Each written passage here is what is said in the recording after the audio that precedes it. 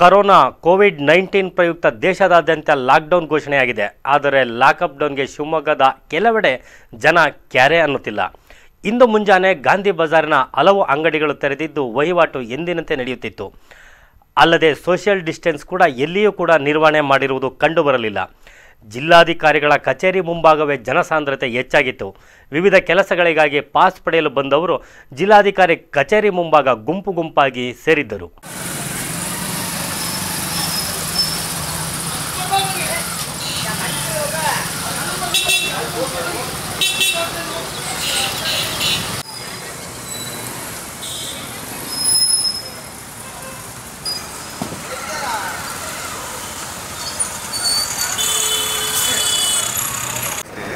ಇಲ್ಲಪ್ಪ ಒಂದು ಸ- ಸಾಮಾಜಿಕ ಕಳಕಳಿ ಇರಬೇಕು ಸಾಮಾಜಿಕ ಕಳಕಳಿ ಇರಬೇಕು ಕಾರಲ್ಲಿ ಹೋಗ್ತಾ ಇದ್ದೀವಿ ಪ್ಲೀಸ್